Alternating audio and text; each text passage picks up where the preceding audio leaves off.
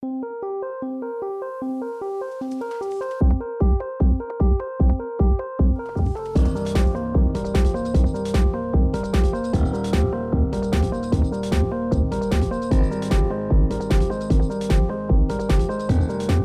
had students from all over Scotland here, from Aberdeen, from Edinburgh, from Ayrshire, and from Dundee.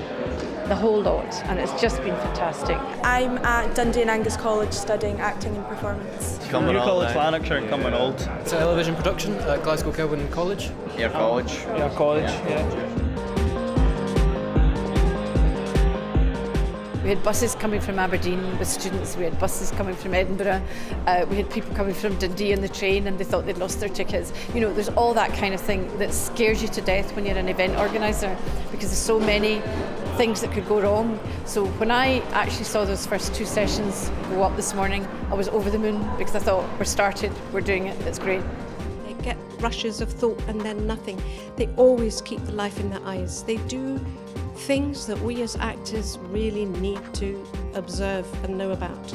The workshop this morning from Mel Churcher uh, was a wonderful opportunity for the students.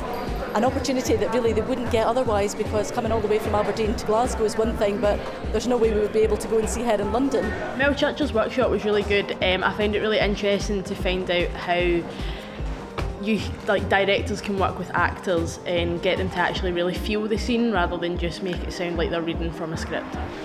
I was an actor for about 20 years and then I started teaching in drama schools which I did on and off for about 10 years.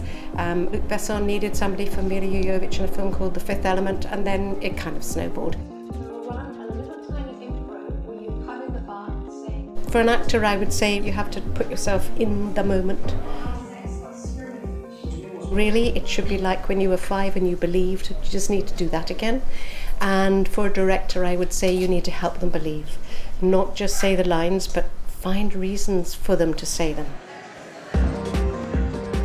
I thought it was really interesting, like very informative, but I've never actually like looked at my actors the way. Yeah, I've I never like, thought of my yeah. actors like that either. I've just kind of, as she was saying, like re- read it, and if it Yeah, sounds okay, then that's that'll do. Days like these are fantastic. They're great opportunities as well for students to really come on board regardless of what year they're in, get hands-on experience. It's a really fantastic day and it's been a great venue to do it. We've got this marketplace behind me here, and we've got lots of kit in, and it was great to give the students the opportunity to actually see all that. So I've, no, I've never seen half the equipment that we've seen today, like half the cameras and stuff. Really interesting, like. Um, during lunch, was able to go over to Visual Impact and have a look on their new rig and do a bit of that. So that was fun. I saw people come around with all sorts of strange cameras and weird things, but they obviously were having that opportunity to see the new things, and, and, and I think that's great.